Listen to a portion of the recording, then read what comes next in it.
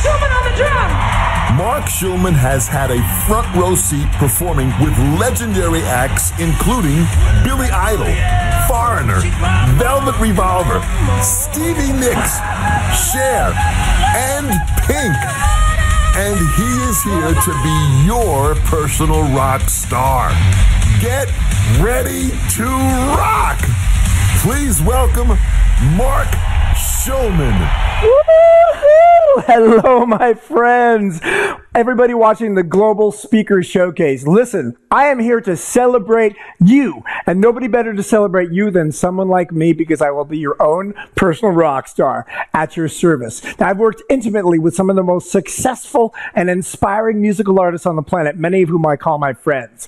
And I'm going to share with you what I call my greatest hits of information in the form of stories, performances, and business relevant content that you can immediately use to supercharge your attitudes, behaviors, and outcomes as we literally hack into the rock star attitude. So I have one question for you. Are you ready to rock? Let's do this. Woo!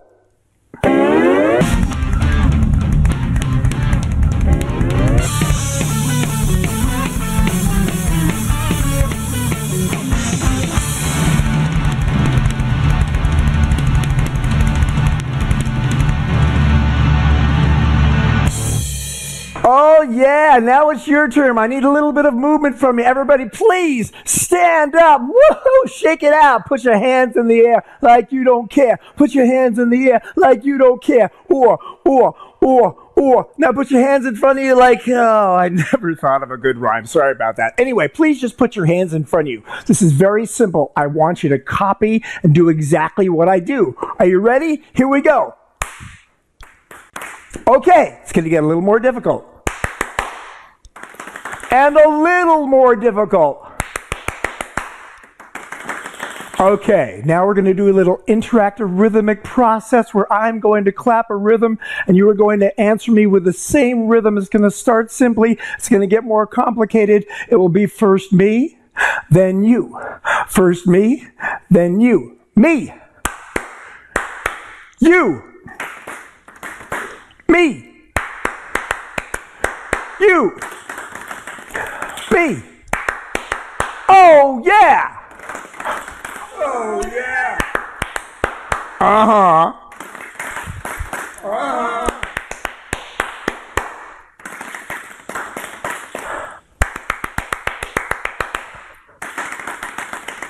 Stop!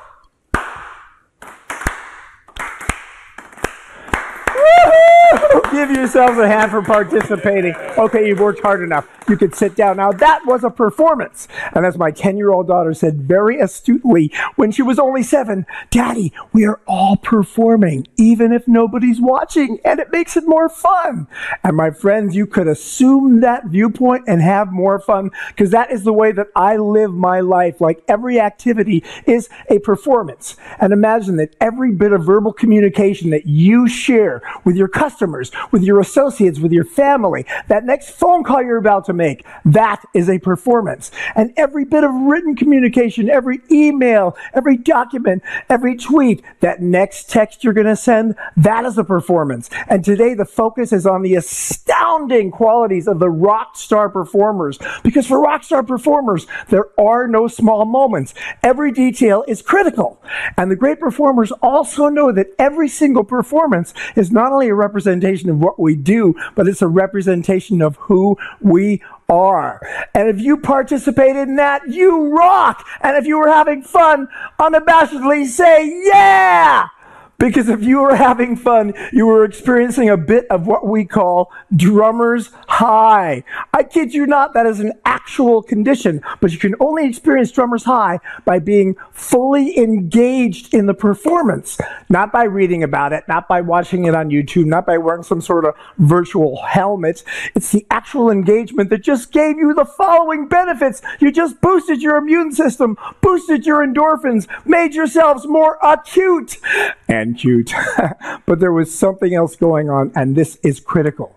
You were actively listening. And because you were actively listening, you were responding in real time as opposed to reacting. When you react, you're playing old tapes, old memories, old prejudices. That weakens your power. When you're responding, you are present, and that strengthens your power. But unfortunately, this practice of active listening is getting lost in the fabric of today's communication with smartphones and the internet and these different apps. And active listening truly is at the foundation for sustainable rock star performance. So it'd be really great if I could get your agreement that for a very short period of time, you would continue to actively listen. If I can get your agreement, say yeah. Okay, I'm going to test you. Here we go. Okay, I believe you. Now, last year, we finished a record breaking stadium tour with Pink 30 to 100,000 people per night. It was extraordinary. And a couple years before that, we did our very first stadium tour with Pink. And that was a wild ride. One, two, three, four.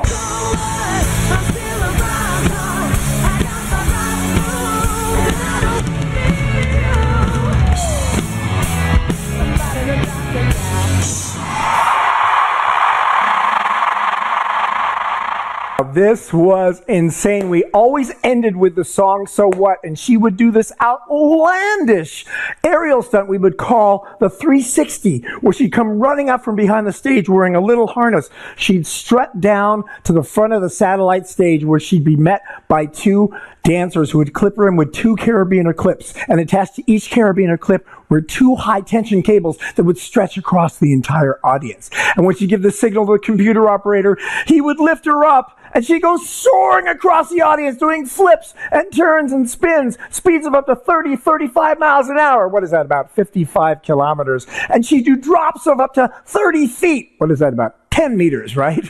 and she'd even circle around to the back of the audience so the people in the cheap seats could see the sweat on her brow. And one night we were in Germany. This audience was wild, the loudest audience I ever remember. And Pink was so excited. She ran down the runway right to the front of the stage. They clipped her in with a carabiner clips. She immediately lifted her arm to cue the computer operator.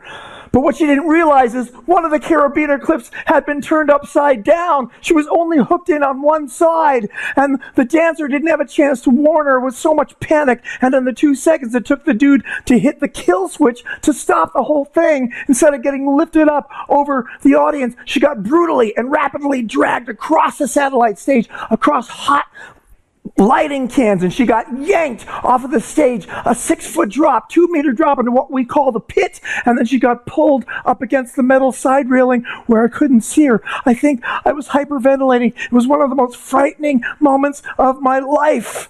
And then that audience was completely silent. The band was completely silent. She was dead silent. I literally thought she was dead. And then I heard the sweetest sound. It was the sound of Pink cussing. If she was cussing, she was breathing, she was alive. She was angry. This was a great sign. But what happened next was totally unprecedented because her husband, Carey, had come running down into the pit.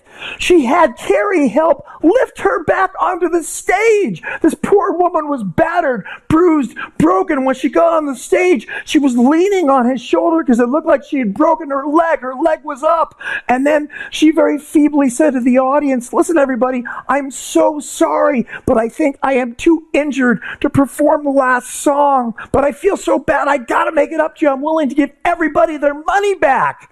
With only one song left. And by that point, they had brought a stretcher onto the stage. They hauled her off onto the stretcher. And that audience was roaring louder than before. Oh my gosh, I looked out into the eyes of some of the audience members. They had tears in their eyes. It brought tears to my eyes.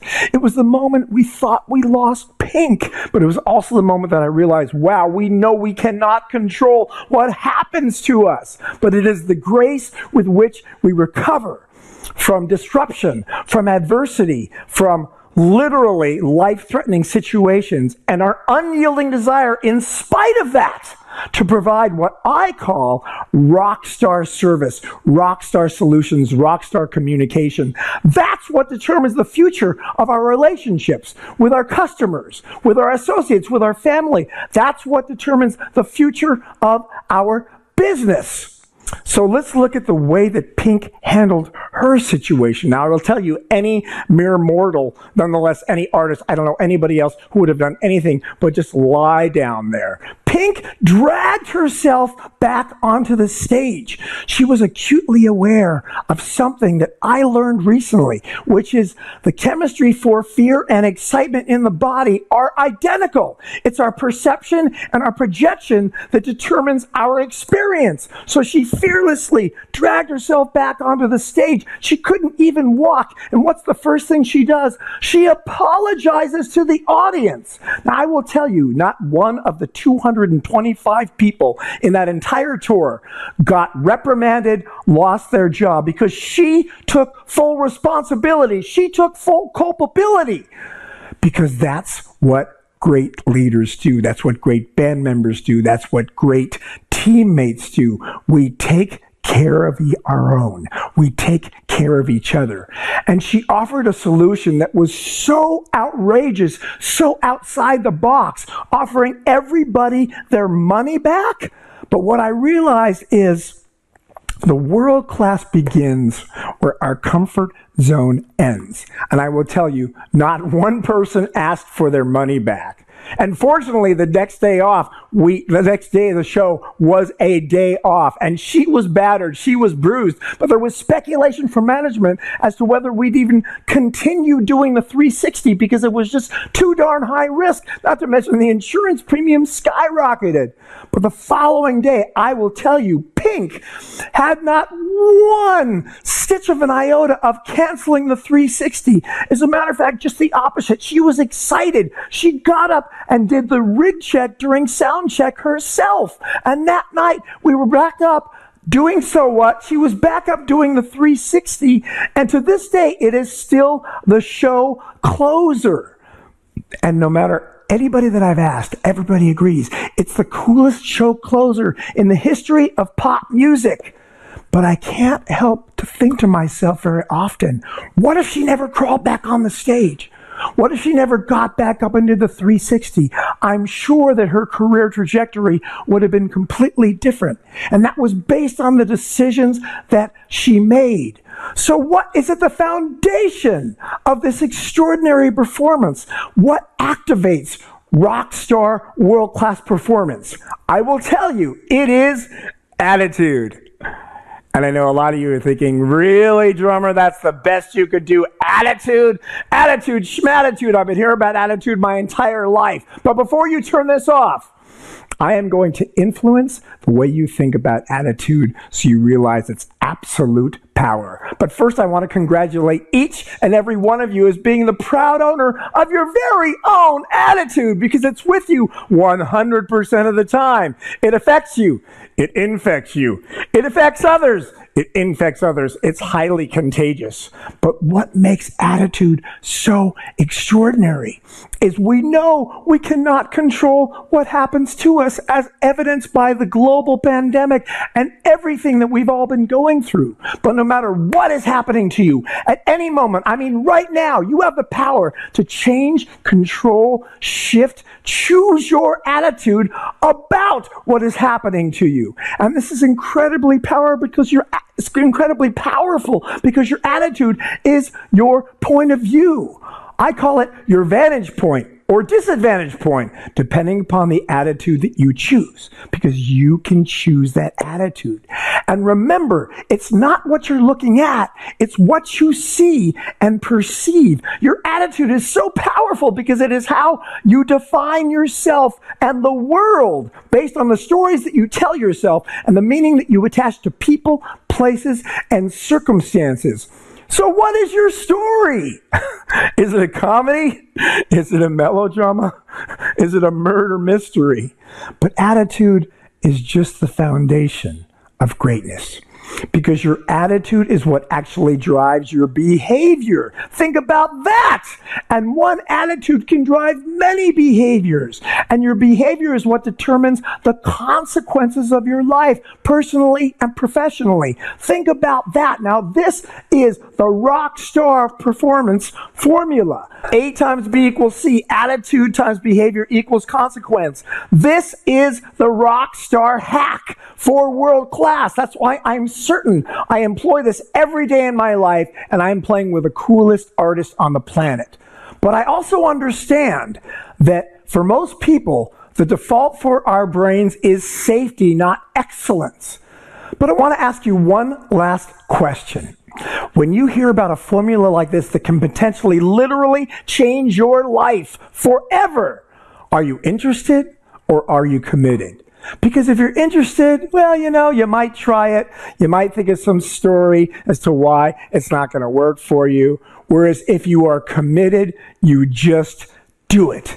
And that is what hacking the rockstar attitude is. My friends, thank you so much for your commitment. I'm so honored and grateful to have been here with you. And I'm going to play you just one more bit of rock and roll, a very short pink medley. Mwah!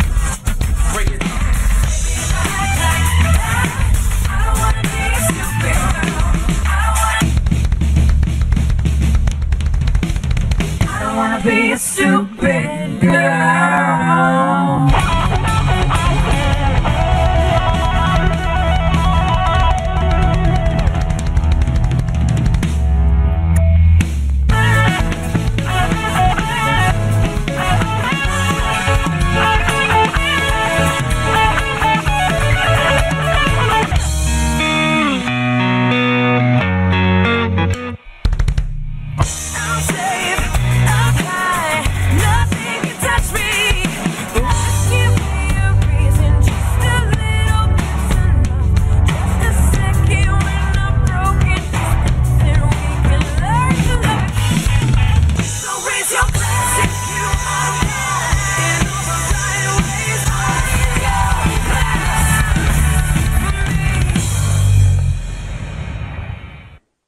Wow, I've seen Mark with Pink, but I've never seen a presentation like this before. Hey, that showman dude really rocks. Well, I think it was okay, but a bit loud. wow, I think I just got an attitude makeover. That was totally rad. that was slicker than whiskey on a doorknob. See y'all later. See y'all later, everybody.